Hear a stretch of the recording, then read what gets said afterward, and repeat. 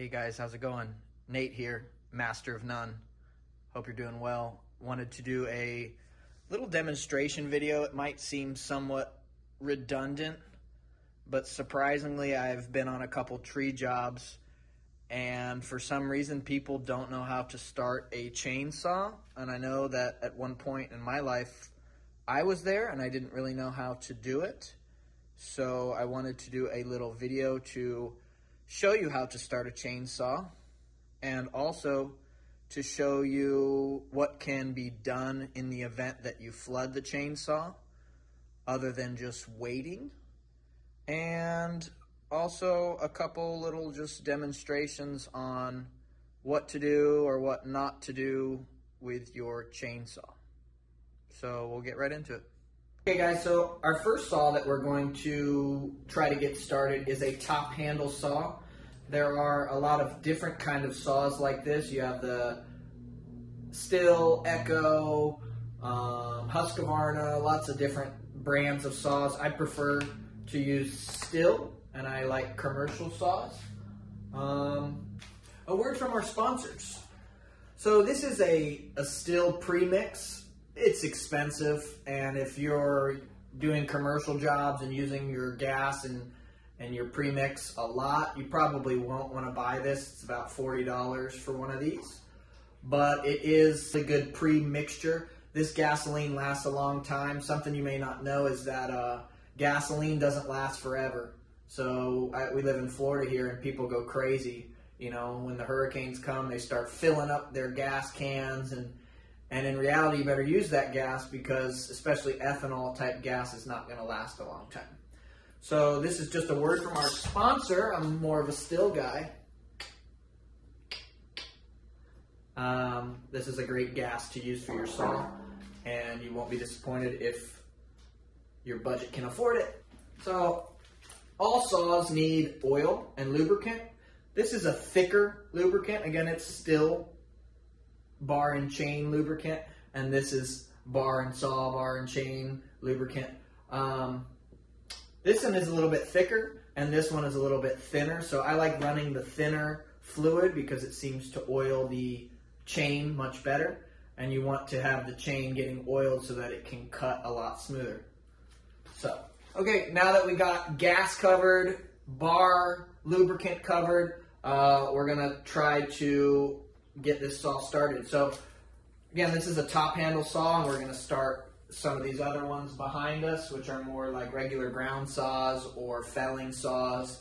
Um, first off, you want to make sure that your chain is sharp, okay? And then you're also going to have, each saw has a brake, chain brake. So pushing it forward engages the brake, pulling it towards you releases it. You don't want to have your chain too tight. If it's too tight, it's going to sound like woo. It's going to have a nice whiz sound. So you got a nice sharp chain, and you should have a little bit of slack here. It should be able to kind of give a little bit, but you don't also want it like hanging too loose. So you got to try to find that right balance, almost like with a stick shift car. You got to find that right sweet spot for it. So again, you always want to make sure that you got gas, okay? And I got bar lubricant. That's only important if you're actually going to be cutting something, but you always want to make sure you got gas and lubricant. I know it seems stupid, but you'd be surprised how many times people think their car died or their motorcycle died or something died when really it was just out of gas. So, again, check for the gas. Um, you are going to prime this. There's a little primer bulb. These saws behind me don't have the primer bulb, so don't look for one. You won't find it. And then you'll see that all of these saws usually have two or three settings. This is the choke. So normally, and it's not always normal because sometimes people leave it on choke for whatever reason, but normally it's not on choke. And basically what that means is your carburetor is open and it's allowing air and gasoline into the engine at the same time because if too much gasoline gets in, it's going to flood the chainsaw. And if too much If there's no gasoline and only air, then you're not going to start the saw. It's just going to be air and it's going to be kind of like a dry compression coming through the saw. So we're going to choke it. And if you're looking at those little pictures on your saw, a good way to remember it is that an H, like the letter H, when you look at the choke, that means it's in choke position. And then when it's just all three, like three vertical lines, then that's non-choke position.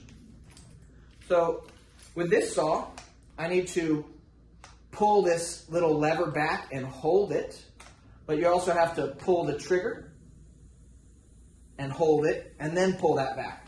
So then we got it on choke, we're holding it back, triggers pulled, boom. You heard that?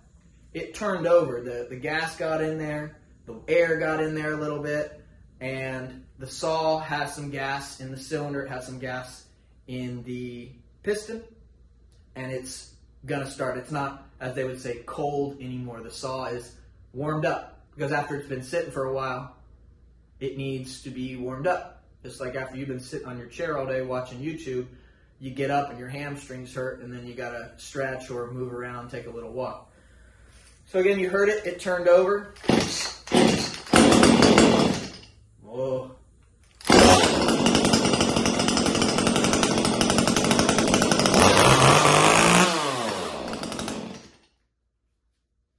So again, pushing the thing forward is gonna turn your saw off. These saws actually, sometimes they lose that ability to shut off. Something inside goes wrong and, and when you push it forward, it doesn't shut off. So another way to shut it off would be to choke it.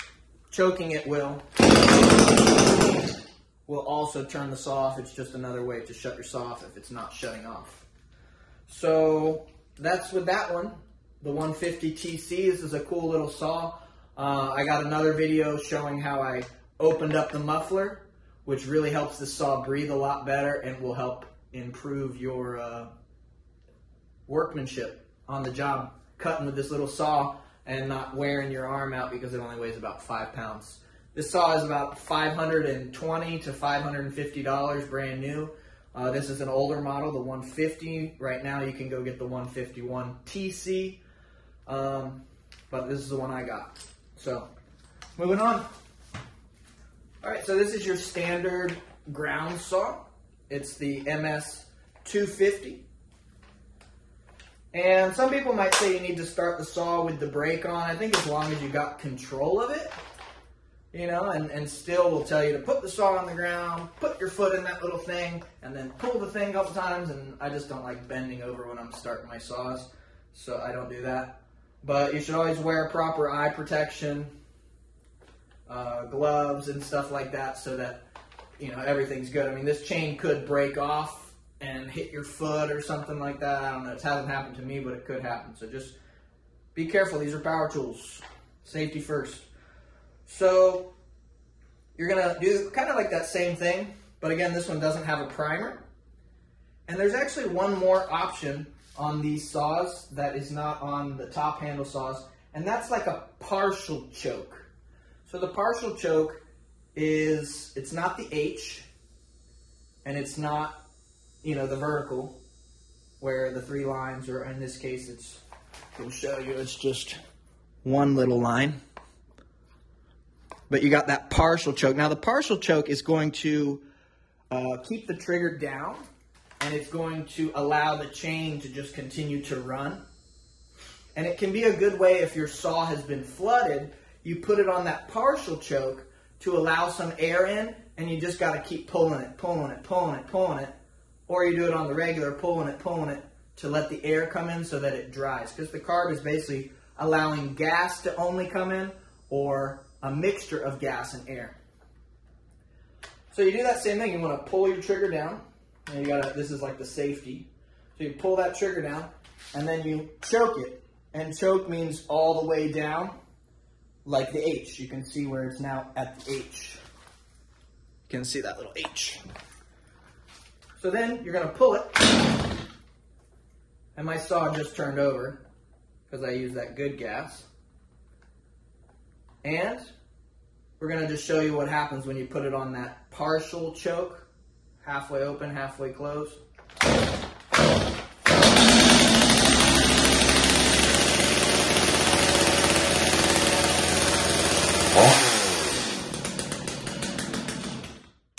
See how when you had it on that partial choke, it was running? The way to get that to stop running is to pull the trigger and then it will automatically switch up to the non-choke position. So on this saw, you want to stop it, you push it up.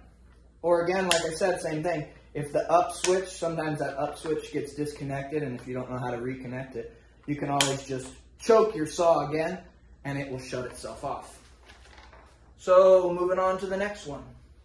Again, it's like the same thing. This is the MS291. 291. Don't play with your saws. Um, gonna pull the trigger. Same thing, hold the trigger. And then choke it. Push it all the way down. And then that was it. That was it turning over. You really got to pay attention for that because when it's not turning over, it doesn't sound the same. It sounds more like that.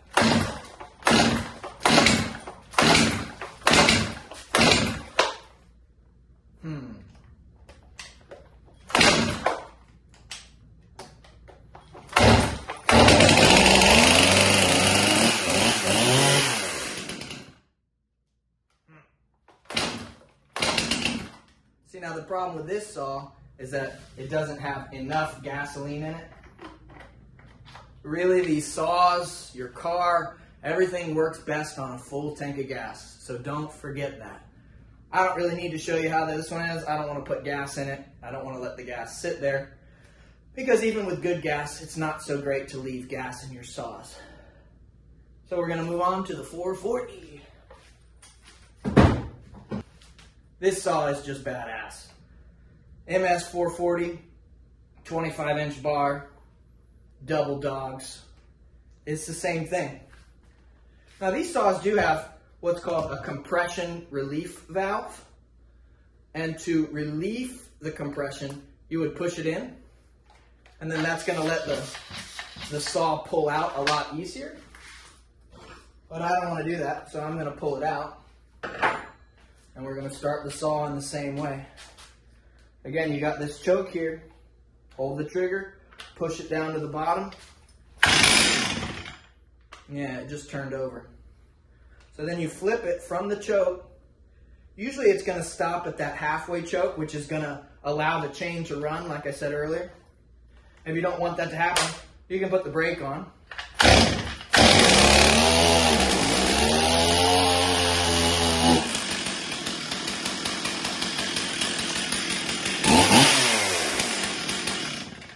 So then we're gonna stop the saw.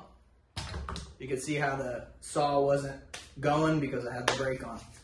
So that's a good way to not let the saw run in case people are running around or, or doing something. Again, you're not supposed to start it standing up, but I do it. Another thing that people do that is just kind of ridiculous is they pull the saw out, like the, the cord, they pull it too much. These saws don't need a whole bunch to get them started. You can just do you can just do a little pull. And I always think like from here to my chest is about as far whoa. Again, it's about as far as you want this thing to go. That's about as far as it's gonna go. It's not gonna go any further. If you end up pulling it further, you're gonna pull the cord out and you're not gonna be happy with that result. So, now, let's say you're going on Craigslist, searching around OfferUp, and you wanna go buy a chainsaw. Now, how do you know if a chainsaw is good? You look at it, wow, it looks so clean, it looks so great. And then you go there and you know, you try to start it and it's not starting, and the guy says, "Oh well, it just needs gas. Just put gas in it." So then you take, you buy it, you take it home, and you try to start it, and it's not starting, and you think, "What the hell?" Well, could be a number of things. Could need a new spark plug. Um, could need gas. It could need a new piston and a new cylinder. Maybe they put straight gas in it with no mixture, and they blew the engine up. One good way to tell is to see if the saw has good compression. And a way you can do that This saw has great compression. See how it's not barely up? The weight of the saw is barely, you know, letting gravity pull it down because the piston is tight. It has a tight compression to it and it's not allowing air or anything to kind of get past it. So it's snug, firm in the cylinder. Now let's say that the saw has a blown piston, but it's not seized up. What's going to happen is you hold the saw, you hold the pull cord, and you let the saw go, and basically the saw just goes and it goes straight to the ground. So this has good compression. See how it's barely, barely going? Well, if it doesn't have good compression, again, you just hold the saw, hold the cord, and then just let go of the saw gently. Don't drop it on your toes. And that'll let you know if it has good compression. Another thing you can do, if you really want to be a, a tire kicker, is, and bring your little, your crinch, scrunch, whatever you call this, little Stihl tool, and, or, in this case, you're going to need a socket set and you're going to need to, what is this, a 8 millimeter socket. Usually all of them have the same thing. But you're going to have to remove the muffler. And if you remove that muffler, and I'm not going to do it, but if you remove the muffler, you take a little flashlight, you can see inside the piston and the cylinder somewhat. You can see the piston. And usually you can see if the piston is scored. And what that means is somebody put straight gas in it, or maybe it's an older saw, and there's like lines on it, like cuts. And that's basically where the metal rubbed against the metal without any type of lubricant, any type of oil or premixed gas. And it caused scoring on the piston. So if you're buying a used chainsaw, you can use those two methods. You could go further and, and buy one of those little compression kit testers and make sure that there's good compression, usually between, I think, uh, correct me if I'm wrong, like 130 to 150 PSI would be like good compression, I think. Something like that. But anyways, I just used those two little test kits. Is it, if it's just no good compression. You could also take the spark plug off and you'll see exactly what I'm talking about. When you let it go, it just and it just falls straight to the ground. So uh, another thing, when you're running chainsaws, don't be the guy that's going around cutting logs and sticking the chain in the dirt. Because when you stick your chain in the dirt, it's going to dull the chain. And you don't want a dull chain because then it's not going to cut the wood. You're going to have to sharpen it. And it just kills your chain. And it's best to have a really sharp chain. The new ones are always the best, but they're usually like 30 to 100 bucks depending on the size of the bar. So it's best to just avoid sticking your saw on the ground when you cut stuff. You know, don't tilt your saw when it's really close to the ground. Just let it sit on the ground like that. Let the base sit on the ground when you're making those cuts so that you don't dig your chain into the dirt. So, again, I uh, hope this video was helpful. I didn't want it to be like demeaning because I remember at one time I didn't know how to start a chainsaw. So I hope it was helpful. I hope you learned something. And thanks for watching Master of None. Subscribe, like, stay tuned. I'll have some more coming.